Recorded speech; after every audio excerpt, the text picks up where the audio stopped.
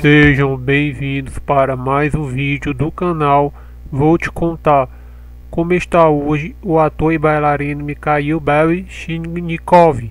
Mikhail Nikolaevich Baryshnikov é um ator, bailarino e coreógrafo russo.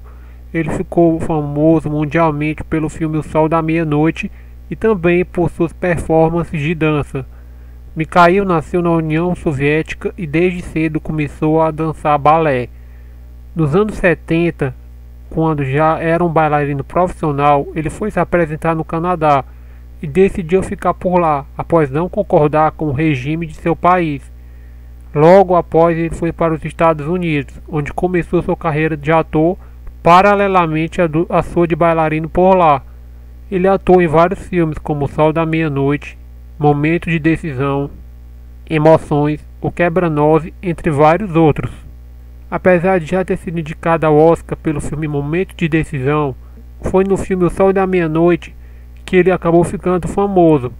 Muito se deve ao fato do protagonista do filme ter uma história parecida com a de Mikhail, já que ele também fugiu de seu país, Rússia, para ir à América do Norte.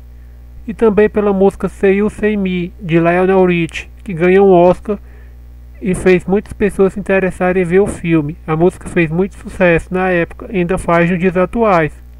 Mikhail é considerado um dos maiores bailarinos da história e já ganhou diversos prêmios relacionados à sua dança. Atualmente ele está com 72 anos de idade e se dedica mais à sua carreira no mundo da dança produzindo espetáculos. E você, o que acha? Comente aqui no canal. Não se esqueça de se inscrever e ativar as notificações para não perder nenhum vídeo e até a próxima.